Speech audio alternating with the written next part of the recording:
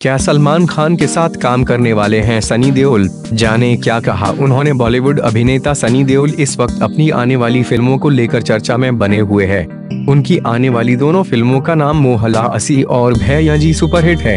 आपको बता दें कि सनी देओल की ये दोनों ही फ़िल्में पिछले काफ़ी समय से रिलीज़ के लिए अटकी हुई थी, जिस पर कई तरह के विवाद चल रहे थे।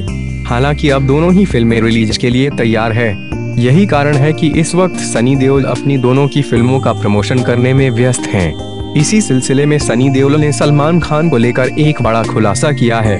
जी हाँ, अगर आप सनी देओल की ये बात सुनेंगे तो हैरान हो जाएँगे।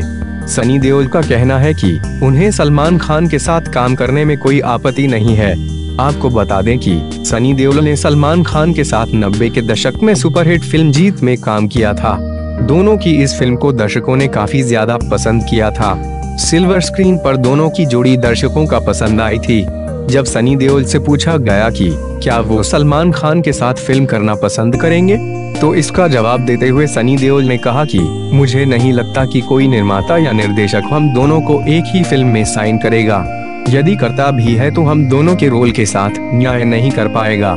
यदि कोई स्क्रिप्ट मुझे पसंद आएगी तब मैं उनके साथ काम करने के लिए तैयार हैं। मुझे किसी तरह की कोई आपत्ति नहीं है।